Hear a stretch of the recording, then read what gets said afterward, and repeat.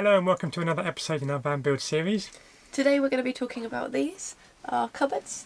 In last week's video we showed you how to make the frames and today we'll be talking about the doors. We have three sets of cupboards. We've got the main ones here, the small one above the fridge and we also have another one here just below the sink. And we're going to show you how we made all of those.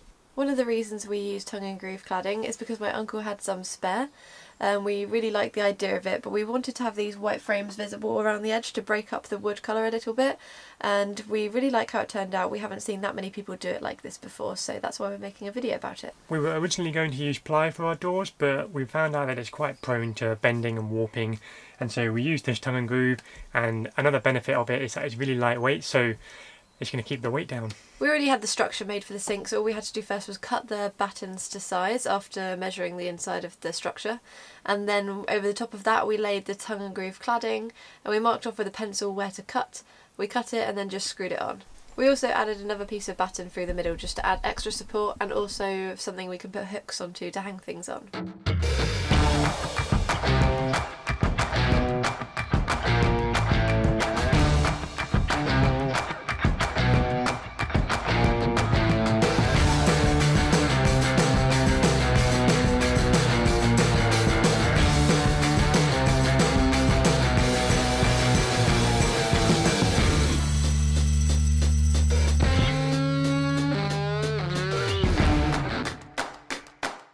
Next we moved on to this cupboard here, which as you can see is quite large, so we decided to go for two doors rather than just one gigantic one. We found the halfway point just by using a tape measure, and then we made two frames to go on either side, one for each door.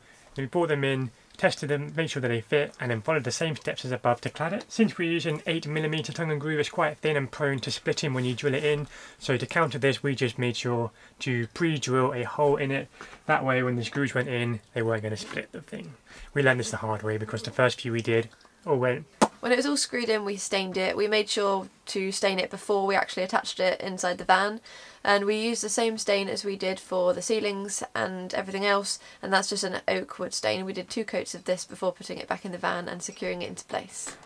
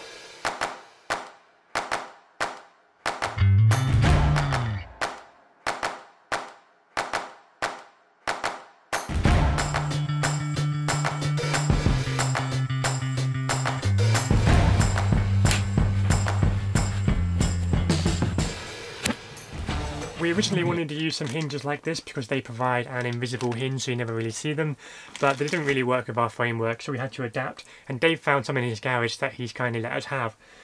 To keep them shut we added these gold locks here and we really like how they turned out, they really match our colour theme.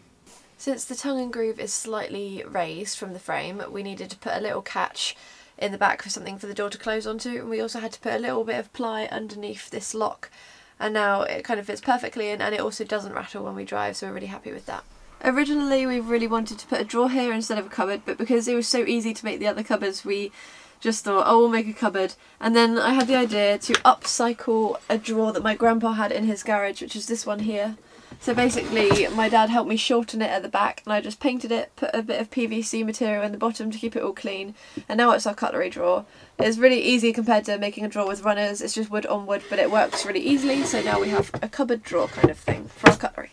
And that's it for today, so join us next time where we will be completing our units by putting on countertops. We're also going to make a sink and make our own taps. So join us then. And if you enjoyed this video, please subscribe because our van is so close to being finished and we can't wait to show you. Thank you for watching.